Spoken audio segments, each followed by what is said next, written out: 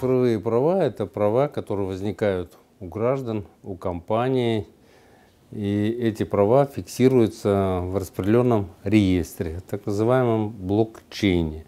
В принципе, они ничем не отличаются там, от прав на ценные бумаги, от прав на другие вещи, но эти права возникают э, вот как раз в распределенном реестре, и это главный смысл соответствующего термина. В нашу жизнь активно входит блокчейн, и блокчейн используется в том числе для выпуска, обращения вот этих цифровых прав. Сейчас активно используется в нашей жизни блокчейн. Очевидно, что эта технология будет дальше развиваться.